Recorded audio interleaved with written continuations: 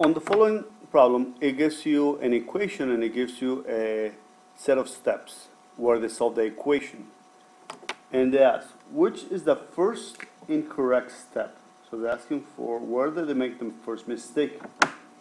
The best way to work out this problem is just to be able to draw the red line to be able to differentiate from one side to the other and then be able to analyze each of the steps. I like to be able to use my ID uh, just as I go through each of the steps to determine which is the correct, incorrect step and what they did from one step to the other. Let's see, on the first step, they used the distributive property. So they used 9 times x is 9x, 9 times negative 7 is negative 63. The right hand side is exactly the same, so that step is correct.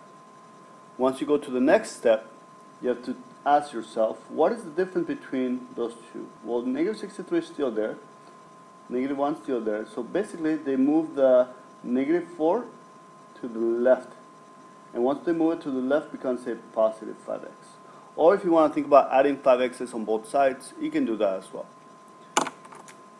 Uh, negative 5x plus 9x should be 14x. So the error is on step number 2.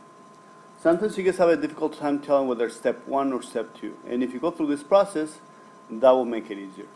So step 2 is the correct step. The first incorrect step.